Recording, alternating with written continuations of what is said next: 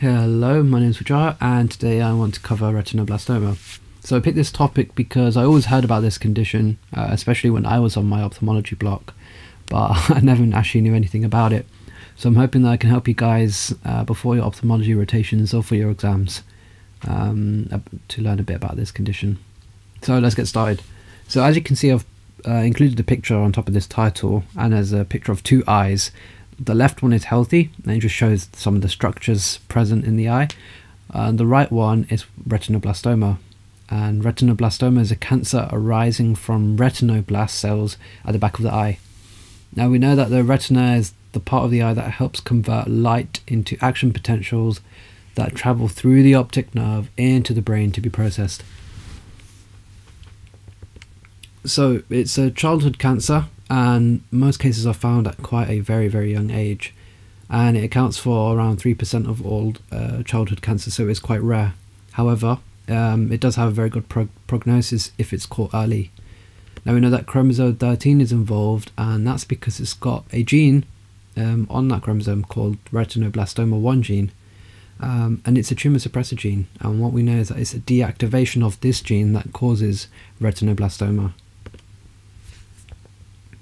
now, with uh, most deactivation mutations that occur in tumor suppressor genes, uh, most of them are recessive in nature, and so in order for a particular cell to become cancerous, both of the cell's tumor suppressor genes must be mutated, and this is called the two-hit hypothesis. I've tried to illustrate that in in the diagram that I've just drawn. Now, most cases um, there is no inheritance pattern at all but of the inherited cases, what we do know is that one of the alleles is already mutated, and so they only need one extra mutation for them to have retinoblastoma. Um, because of that, they often present earlier on in life, and they often have a bilateral retinoblastoma. So I want to show you a picture of me, and I'm sure you've seen eyes like mine in this photo. It's called a red reflex, and now when light from your camera flash goes into your eye, it gets reflected by the light sensing cells in the retina. And in retinoblastoma, the light reflects off the white or yellow colored tumor in the eye. And this white eye reflex is called leukocoria, as you can see in this picture here. Now, interestingly, you can also get this white eye reflex if you manage to get light right in the center of the retina, which is called the fovea, as it has no rod or cone cells there to detect light. So moving on to the symptoms now. Um, obviously, the main one is leukocoria, and any child that presents with leukocoria has retinoblastoma unless proven otherwise. And some of the other symptoms that people can get deterioration in vision, red eye, and a squint. Investigation wise, an urgent ophthalmology referral is required, ideally within 48 hours.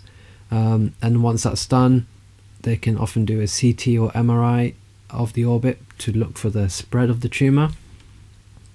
Um, and then also a biopsy is not done, and that's because of uh, risk of damage to the vitreous.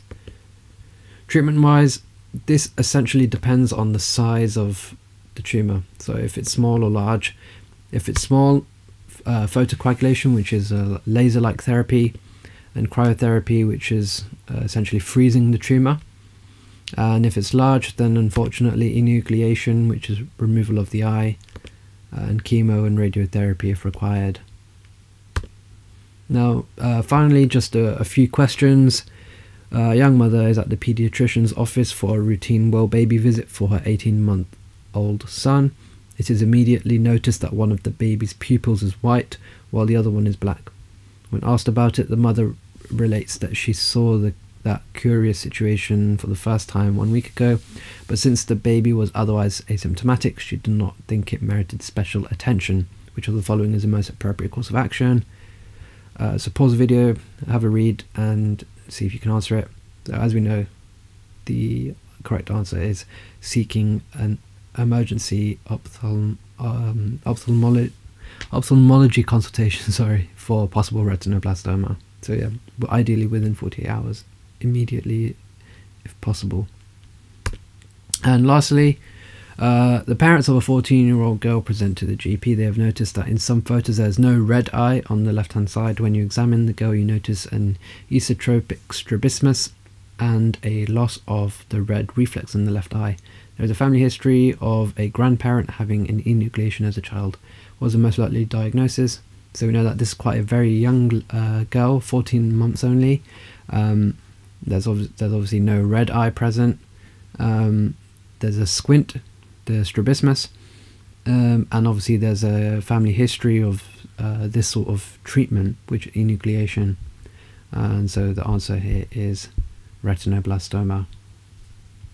I hope that helped. Thank you very much for listening. Please like, comment, and subscribe, and I'll be back with another video soon.